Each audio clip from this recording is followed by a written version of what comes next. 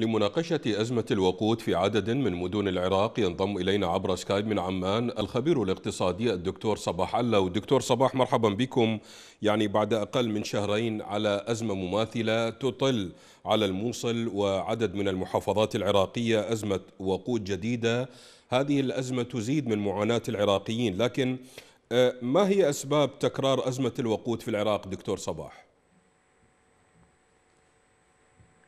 تحية لكم. حقيقة ما يحصل في الشركة العامة لتسويق المنتجات النفطية التابعة لوزارة النفط في العراق سوء الإدارة وبنفس الوقت هناك فساد مالي وإداري بين فترة وأخرى تعمل هذه المديرية من خلال أذرعها في شبكات المحافظات الموجودة وما تمتلكه من محطات حكومية إضافة إلى أن المحطات الخاصة توزعت بشكل كبير جدا وفق إرادة الأحزاب الحاكمة في كل محافظة من المحافظات.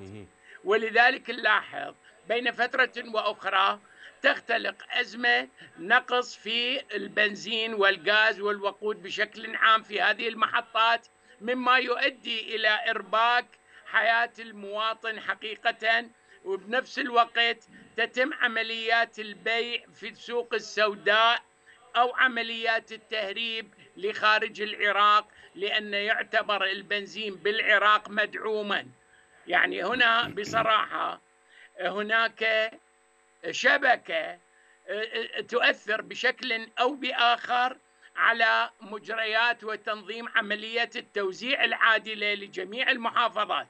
علما بأن العراق يمتلك عدد كبير جدا من مصافي التكرير الموجودة من شماله حتى جنوبه. نعم. إضافة إلى هناك آه، حاليا مشاريع جديدة ستنشأ.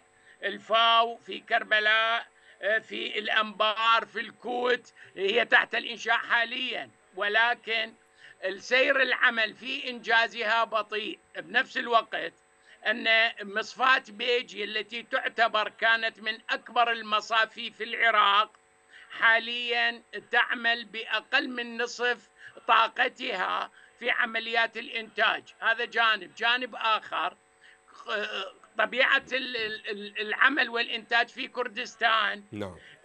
تعمل على تصدير النفط بالدرجة الأساسية ولذلك نلاحظ حاليا اتخذت بغداد قرارا ب إيصال البنزين آه، بمقدار 400 480 ألف لتر يوميا لدعم النقص الحاصل في كردستان. مما شكل نقصا في بقية المحافظات. إضافة إلى عمليات السمسرة في ذلك مما أدى إلى غلق آه، عدد من آه، المحطات. وهذه السياسة هي سياسة الفساد المالي والإداري. علما بأن العراق يستورد يوميا نعم. أكثر من 10 مليون لتر من البنزين وخمسة مليون لتر من الغاز. والتي تقدر سنويا بحدود حوالي 24 مليار دولار. وهذه لمصلحة من؟ يستورد العراق من كل من إيران وتركيا. كميات كبيرة جدا من المشتقات النفطية وخاصة البنزين. طيب دكتور. إذا نعم. هناك سياسة فاشلة نعم. في عملية التوزيع وبنفس الوقت توسيع حالة الإنتاج. دكتور لماذا لم تحل أزمة القطاع النفطي آه، بعد 18 عاما من الاحتلال وحتى هذا اليوم؟ ما هي المعوقات التي تقف عائقا أو حائلا أمام إصلاح هذا القطاع النفطي؟ حقيقة هذا الجانب له أبعاد سياسية نعم. سواء إقليمية أو دولية علما بأن العراق مسيطر عليه من قبل عديد الشركات العالمية إضافة إلى الموقف السياسي لدول الجوار التي تتدخل في سياسته النفطية إضافة إلى اعتماد العراق في موازناته المالية وايراداته على النفط وهذا شكل خطرا كبيرا لأن السوق النفطي غير ثابتة ولذلك نلاحظ من من يدير إدارة آه، العملية النفطية بالعراق كوزارة النفط نعم. لا تمتلك آه، المقومات الحقيقية التي ترفع من إمكانية الإيرادات وبنفس الوقت توظيف الإيرادات لعمليات مشاريع استثمارية جديدة خارج إطار الريع النفطي الذي يدخل إلى العراق. وهذا يشكل انه آه، حال بمستقبل العراق ومعيشة المواطن بالدرجة الأساسية.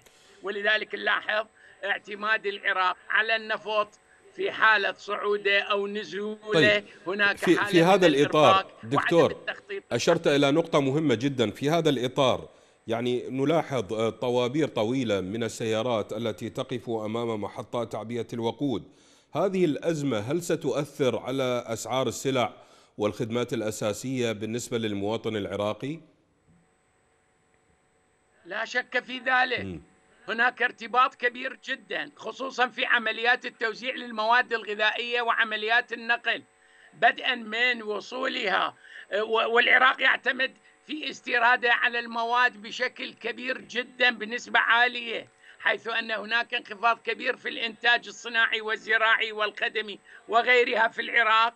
مما أدى إلى الاعتماد على الخارج عمليات النقل من الموانئ ومن مناطق الحدودية وغيرها إلى الداخل إضافة إلى عمليات تنقل المواطن نفسه لإنجاز عمله كموظفين أو غيرهم أو ارتباط عمليات النقل بجميع عمليات الخدمات وكذلك أيضا العمليات الخاصة بحالة التفاعل الاقتصادي للفرد العراقي ولذلك نعم. نلاحظ سينعكس ذلك على ارتفاع في بعض أسعار المواد م. التي تتضرر بجراء هذا النقص في الوقود. عبر سكاي من عمان الخبير الاقتصادي الدكتور صباح علو شكرا جزيلا لكم.